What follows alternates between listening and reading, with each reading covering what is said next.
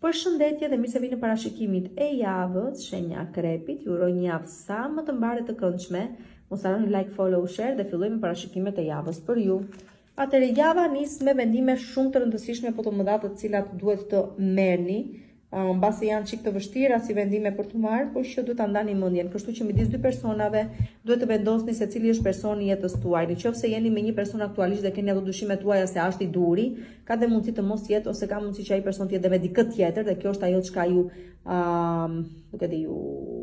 tërheq edhe më tepër, do t'ju tërheq, ju tërheq ju ju ju bën të stepeni, dua të them, edhe më tepër, të largoheni nga ky person, shumë prej jush mund të mendoni një uh, një, domethënë, shpërngulje ose uh, mund të mendoni të shpërnguleni ndoshta edhe një pronë private, një pronë mbase edhe familjare, diçka që ju trashëgohet, Në vija të përgjithshme kjo letër tregon udhëtime, për ju që jeni jashtë mund të vini shumë mirë të keni një rrugë tej nga Shqipëria jonë e dashur. Për një pjesë tjetër prej jush i hapni dyert personave që të familjes që vijnë nga jashtë dhe në vija të përgjithshme le të themi që po dita e hënë që sot domethënë, duket se mirëprisni persona nga jashtë në shtëpinë tuaj, nëse jeni jashtë, me sa duket jeni ju ata që udhëtoni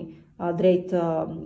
shtetit shqiptar, duhet të merrni vendime të rëndësishme, sidomos në qoftë se keni mendjen mm, midis dy personave, duhet ta ndani mendjen të fokusoheni tek një. Për çështje ekonomish dhe financash, duket se ka ardhur momenti të filloni dhe një punë të dytë, dhe për sa i përket çështjeve familjare, kujdes sepse duket se po rivalizoni me bashkëshortin, bashkëshorten se kush sjell më shumë dhe kush vlen më shumë brenda familjes. Pra kujdes nga këto të tilla gjëra. e kaluara me sa duket po ju troket në derë përsëri me persona që kthehen nga e kaluara juaj për një pjesë të mirë prej jush. Pra kjo është dita e hënë. Dita e martë tani, ditën e martë bëni kujdes nga mashtrimet, nga gënjeshtrat, bëni kujdes sidomos në ambientin e punës, sepse me sa duket këtu ka persona që duan t'ju lënë të bëni ju të gjithë punën, për të marrë meritat pastaj ata vetë. Okej, kështu që janë persona të këqinj, janë persona të ligj, janë persona um, dashakeqës, por dhe shumë uh, intuitivë për keq jo për mirë, domethënë e masin momentin dhe shikojnë se ku e kanë përfitimin e tyre, kujdes nga persona të tillë sepse është e vështirë t'i kuptosh se i ke armiq për faktin se janë shumë uh, uh, dinë të ta bëjnë qejfin, domethënë, janë servila të bukur, janë, keni parasysh, keni kujdes këto gjëra, sepse Janë vërtet në, do të të martën bëni kujdes nga të tilla situata, nga persona që ndryshe hiqen dhe të tjerë janë, dhe si qëllim kanë sidomos në ambientin e punës të marrin punën tuaj dhe ta kthejnë në meritën e tyre. Përsa i përket ambientit shoqëror, vlen po e njëjta gjë. Kështu që bëni vërtet vërtet Kujdes me sa duket ju lidh puna me persona të tillë. A, çfarë është e bukur që mund ta shfrytëzoni lidhje me këtë letër, të mësoni nga persona të tillë, ndoshta ju mos i lejoni të kenë ata uh, si të thuash përfitimet nga ju, po jeni ju ata të cilët ua merrni atyre në kthesë. Pra mësoni nga eksperiencat tuaja me këta persona ditën e shtunë, ditën e shtunë, ditën e martë, ditën e mërkurë tani,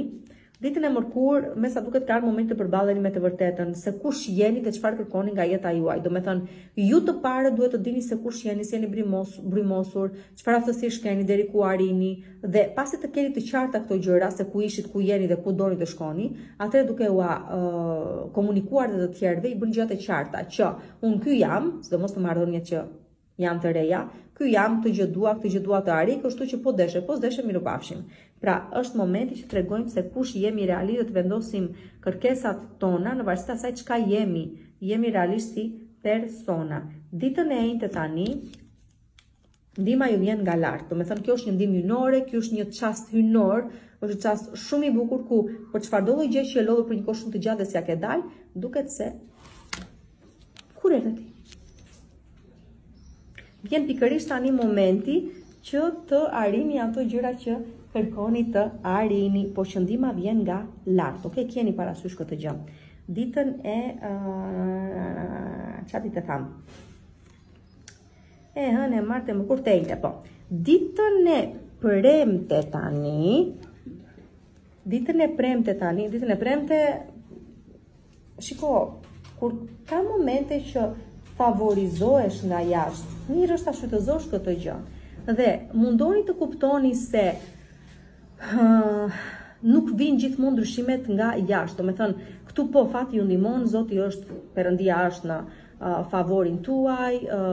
mundohet t'ju ndihmojë me aq sa mundet, sidomos qoftë se jeni sjellë ashtu siç duhet, por për ato fillime të reja që kërkoni, për ato si të thuash fillime të reja, vërtet të reja që kërkoni të keni në jetën tuaj, duhet të lëvizni pak dhe vetë. Me thënë jo vetëm të kërkoni ë nga Perëndia Zoti të bëjë mrekullinë, por që edhe ju vetë duhet të përpiqeni të sillni ndryshime të caktuara në jetën tuaj. Kështu që po, jua bën favorin uh, fati Perëndia Zoti si të doni quajeni ditën e uh,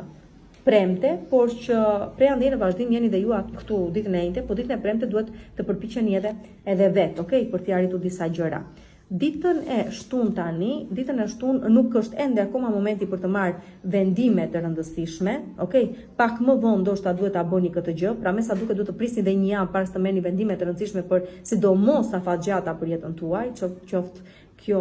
në lidhje me financat, me punën që keni, me bashkëpunimet që doni të arrini me si ta thuash jetën tuaj sentimentale, domethënë sidomos në qoftë se keni, si ta thuash ça të them tani, trysni të madhe dhe duhet me, me se s'bën të merrni një vendim, aq më tepër nuk duhet ta merrni këtë vendim, se do gabonit, ok, do gabonit, kështu që është më mirë që ta lini këtë gjë për më vonë, ok? Dita e shtunë, dita e diel më në fund si mbyllet, ditën e diel tani le të themi që këtu për një lidhje që nuk po ecën, sidomos për lidhje që nuk po ecën, gjejani drejtimin, jepjani drejtimin vet. Ok, domethënë, nuk po them, ju thashë që prisni njëherë dhe mos u nxitoni, të merrni vendime të rëndësishme, sidomos në qoftë se uh, janë duke ju trysnuar, ushtruar trysni për ta bërë këtë gjë, Por në qoftë se vërtet po e kuptoni se nuk ecet, nuk bëhet, ky person vjen e ikën në jetën tuaj dhe nuk premton për sa i përket ardhmes, atëherë flieni mendjen dhe ju dhe mbase mos e merrni vendimin brenda kësaj jave, por që sido që të jetë javës që vjen, besoj se do jeni të detyruar të t'i mendoni mirë këto çështje dhe situata. Kështu që jua thashë nis java kështu për ju, me vendime të rëndësishme që duhet të merrni, ëh, uh, sidomos nëse jeni midis dy personave ose në qoftë se keni kuptuar se personi me të cilin jeni mbase ndoshta nuk është tamam vetëm me ju. Kështu mbyllet java, kështu nis edhe kështu mbyllet. Pra, duhet të merrni vendime të rëndësishme për sa i përket jetës sentimentale brenda kësaj jave. Për çdo gjë tjetër, Zoti ju do ju ndihmon, mm, ju jep goxha suport, por që edhe ju duhet të bëni pjesën tuaj, okay? Edhe ju duhet të bëni pjesën tuaj.